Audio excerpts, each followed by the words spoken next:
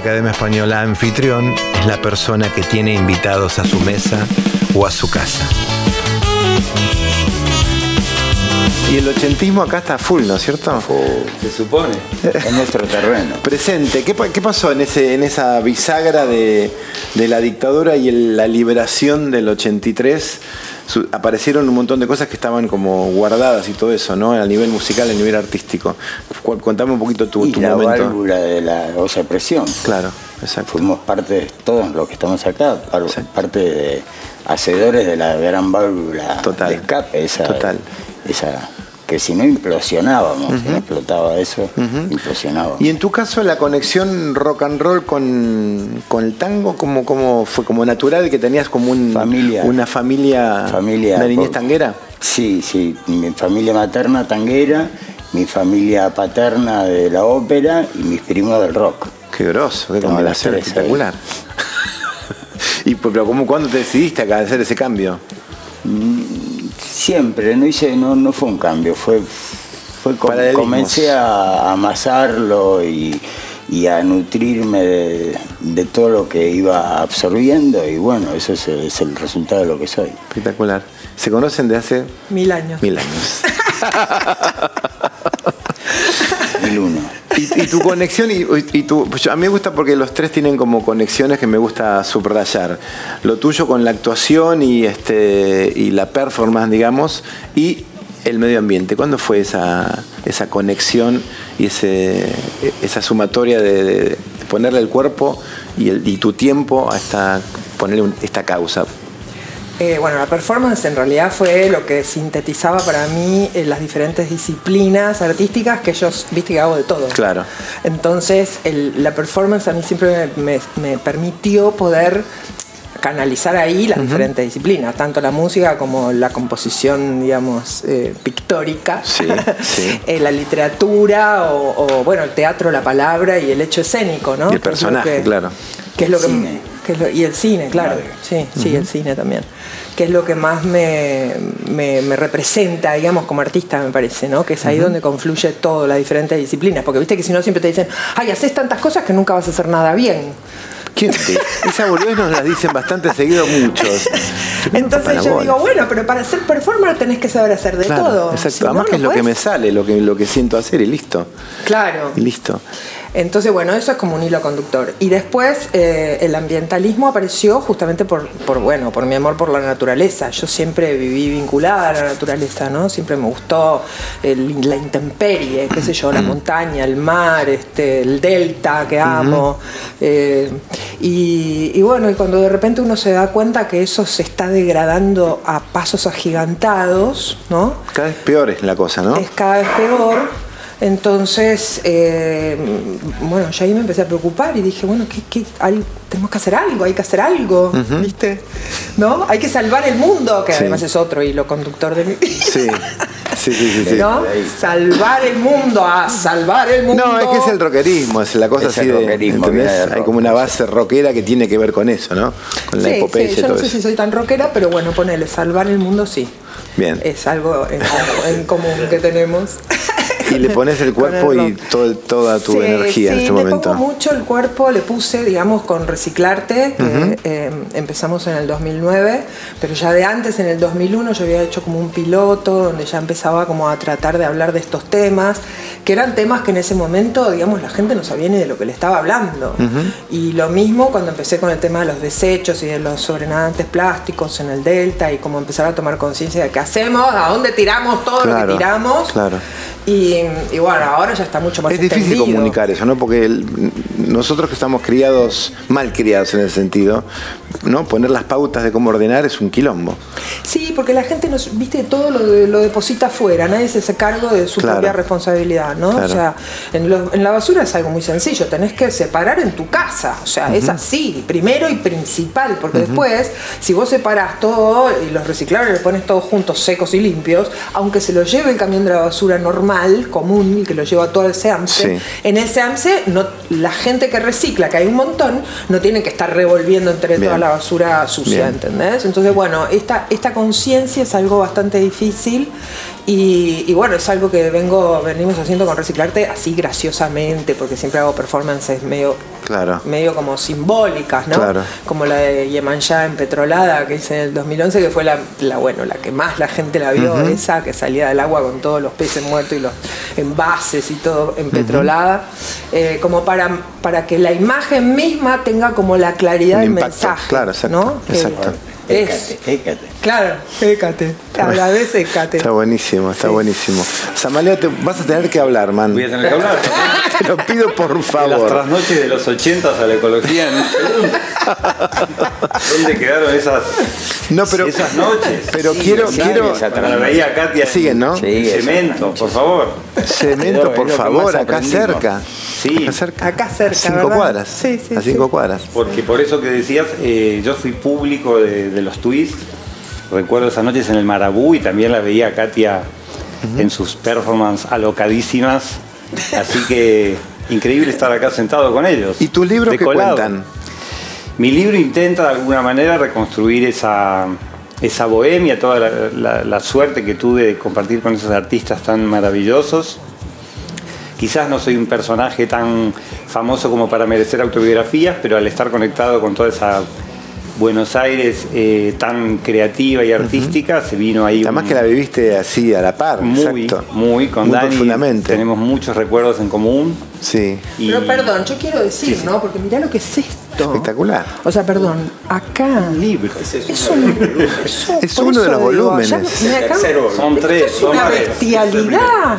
Miren lo que es esto. Están escritos con humor, tampoco es algo solemne o ni mucho menos histórico. Espectacular.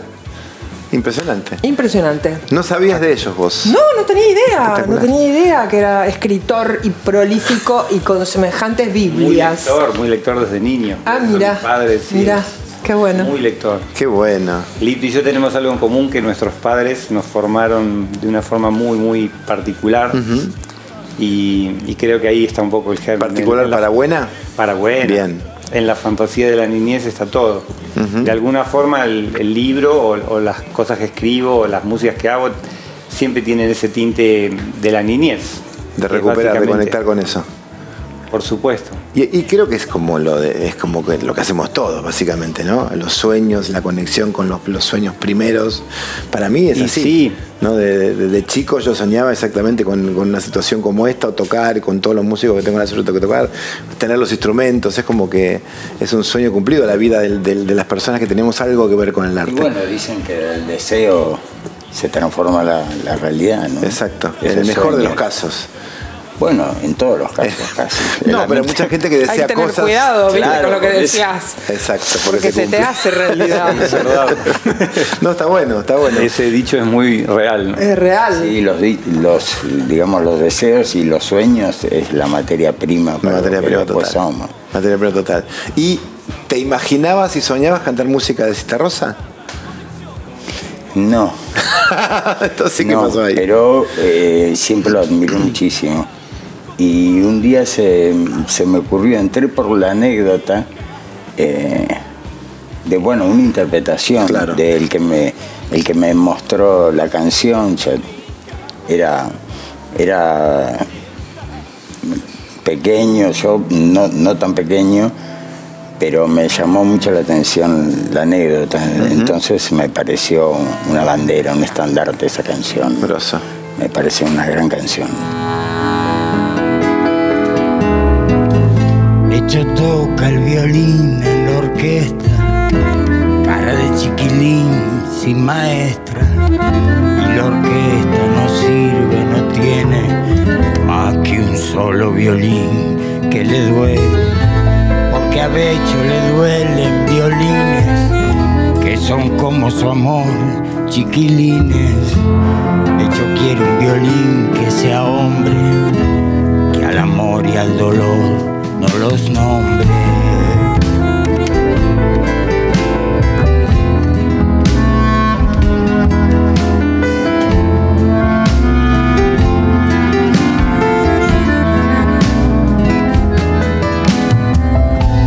Becho tiene un violín que no ama, pero siente que el violín lo llama.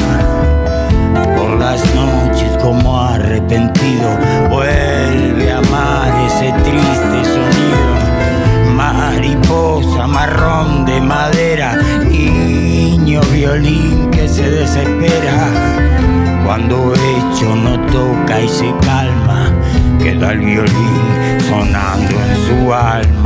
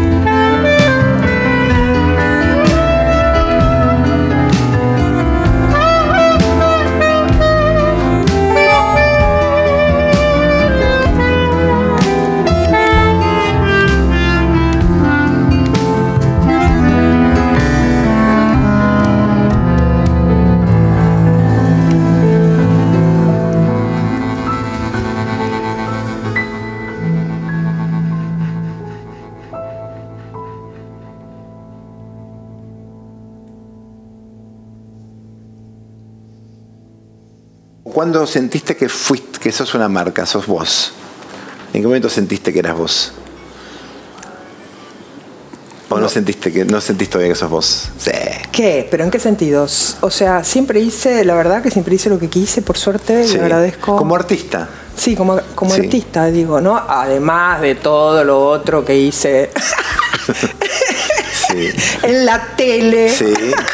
Ahí hay como un supuesto No. cortocircuito, pero que vos No, lo no, manejaste ningún con cortocircuito, feeling. Ningún cortocircuito. La verdad es que para mí era como aprender el oficio. Claro. ¿No? O sea, hice de todo para Sí. aprender el oficio de la tele. Sí, sí, sí. O, de con- O del cine, O yo del cine, del cine, del Porcel cine. o algún ese tipo de- tipo de Sí, sí, película, sí, ¿no? Sí, del cine también. Estar delante de la- actuar para la cámara, digamos, Claro. ¿no? O sea, saber tomabas actuar como un ejercicio por ahí. Sí, para mí eran ejercicios. Bien. Sí, y después cuando ya está, cuando llegué al listo, me fui. Claro. O sea, no seguí.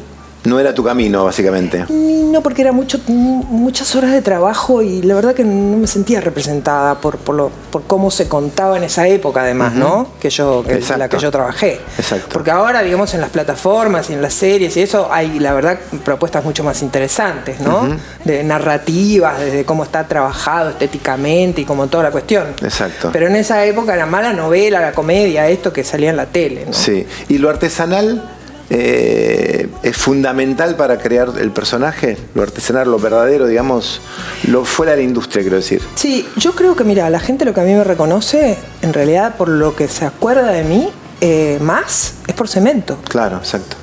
O sea, las cosas de la tele es como que terminaron, viste, desdibujadas. Sí, la gente me conoce, la popular sobre todo, Katy, Katy, viste.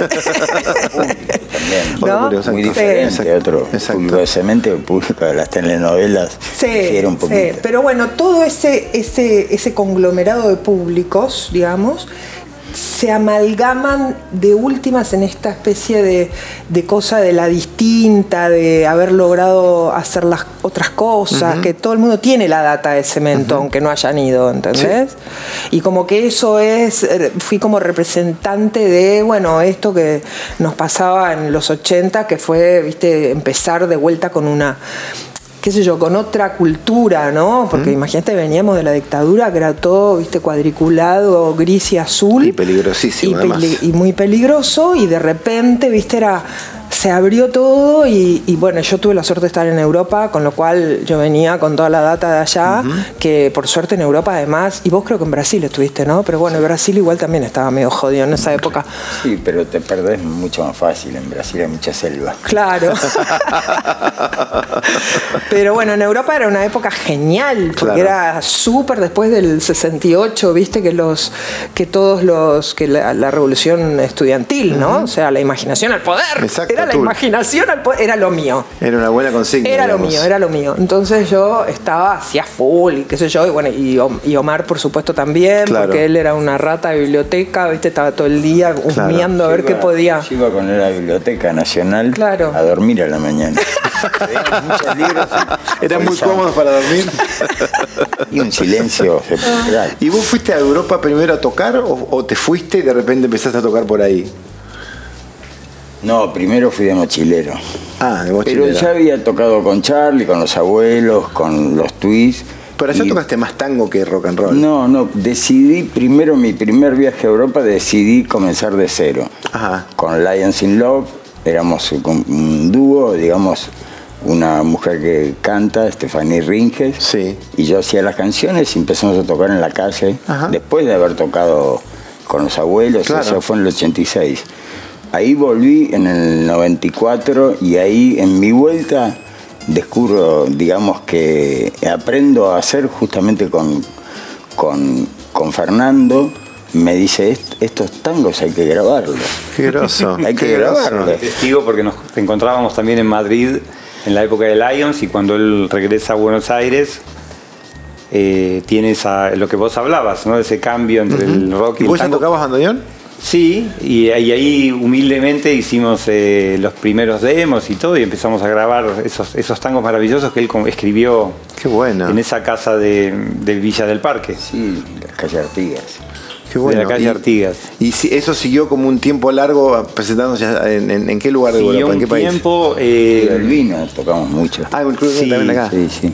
En el Club del Vino pasaban cosas Sí, espectaculares. bueno, tocamos todos los viernes y sábados eh, de trasnoche después de- del Quinteto Real o de Salgani de Liga. Ah, por favor. Era una cosa de locos. Ir a, ir a escuchar el Quinto Real era como No, estábamos ahí en bambalinas Tremendo. Una aplanadora absoluta.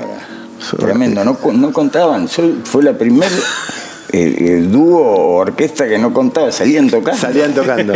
No contaban. Era como un sí, Salían no, era impresionante. Era no impresionante. ninguno, ni Uno Salgani. era testigo de algo muy mágico, muy Y terrible. bueno, y de lío poniendo, no bajaba el volumen nunca cuando enchufaba el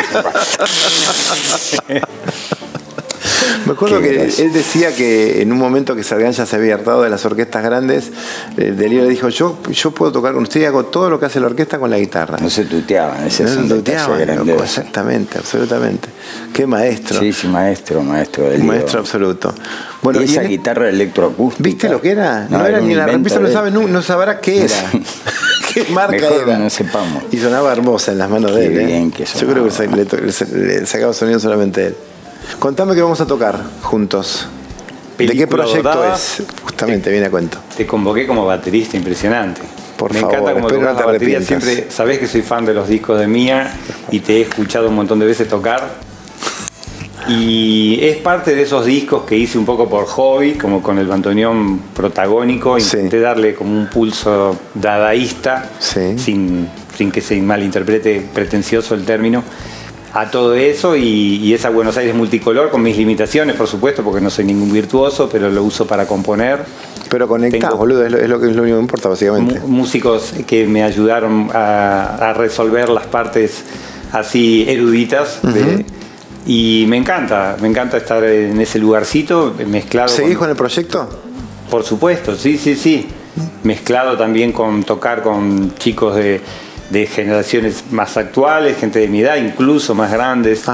O sea, aunque suene cursi, estoy como en un estado eh, de gratitud por todas las cosas vividas y con la capacidad de asombro, por supuesto, eh, muy a flor de piel para todo lo que venga, que es lo más importante. Así que ese es el plan.